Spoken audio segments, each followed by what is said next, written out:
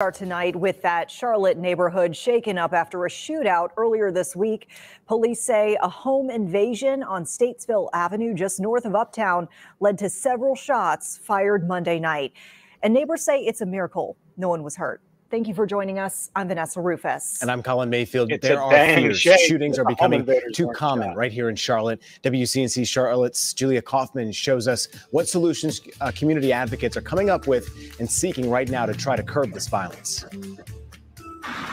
It was a normal Monday for Tiffany Schreiber and her fiance we watched a movie and we were hanging out on the couch. until what they thought were fireworks outside got much louder. And then one of the bullets came through our window, like right above where we were sitting. Schreiber says her neighborhood, Brightwalk near Camp North End, is usually quiet with no issues. But Monday night, a police report says a home It's a glider neighborhood. Just look at those flower beds. yeah, man. It's just a glider neighborhood, man. I mean, everything's manicured and taken care of. Everything looks nice, man. Um,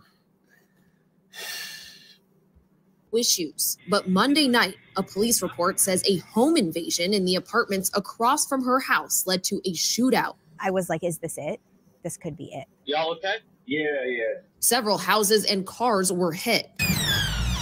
Schreiber says the damage inside will cost around $35,000 to fix. One hit the brick. Um, and then another one in the middle of where that red tape was. But what bothers her most is the troubling trend of gun violence in Charlotte. Just the response that I've been getting is, oh, it's so common.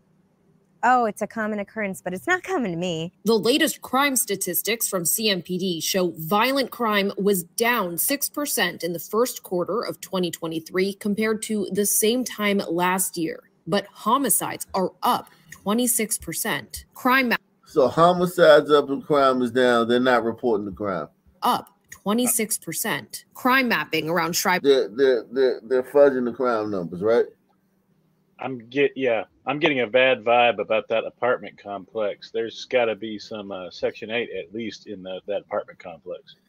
Mm. same time last year, but homicides are up 26%. Crime mapping around Schreiber's neighborhood shows there have been 204 reports of assaults, weapons, and homicides this year alone. I think a lot of times um, persons who are using gun violence really are not aware of the um, impact. Community advocate Reverend Glencie Rhedrick Oh, says part aware. of the solution is teaching children and young adults conflict resolution skills. How to have that conversation, um, how to use your words. Above all, she says communities need to find ways to discuss the value of human life and the consequences of violence. town hall meetings to have those kinds of conversations, uh, making sure that um, in our churches that there are sermons that um, talk about what it looks like to be free from violence. Schreiber feels lucky no one was hurt in the shooting.